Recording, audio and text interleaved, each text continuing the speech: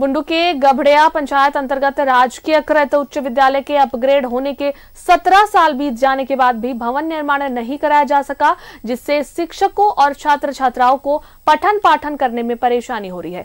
मात्र तीन रूम में बच्चों को बैठाकर पढ़ाया जा रहा है। वहीं स्कूल के प्रिंसिपल का कहना है कि कई बार स्थानीय विधायक को इस बात से अवगत कराया गया है, लेकिन बात को नजरअंदाज किया गया।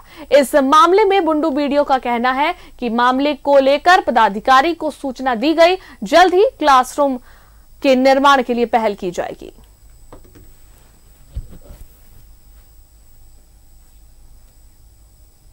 परेशानी तो बहुत होती है। हम्म, बच्चे कुछ कुछ अपसेंट भी हो जाते हैं ज़्यादा आते हैं तो उनको बैठाने में परेशानी होती है। यहाँ एक फ़ैन भी था पढ़ाते पढ़ाते मेरे ही क्लास में गिर गया था अचानक से। अच्छा। तुरंत वो सबको तो बंद कराए वही समस्या सब तो बहुत है। दोनों को पढ़ाने में काफ़ी तकलीफ़ होती है क्योंकि अगर हम एक बच्चे एक क्लास के बच्चों को समझाते हैं तो दूसरे बच्चे डिस्टर्ब हो जाते हैं। उनको समझने में प्रॉब्लम होती है।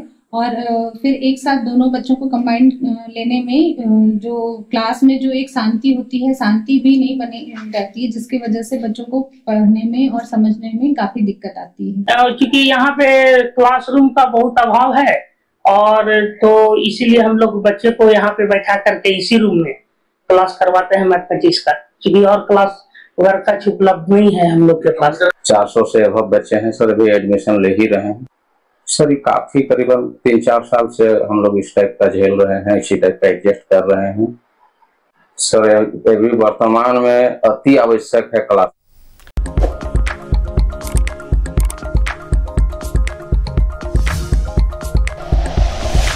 like and share videos, subscribe करें हमारा चैनल और प्रेस करें बेल आइकॉन न्यूज़ 11 भारत सच है तो दिखेगा।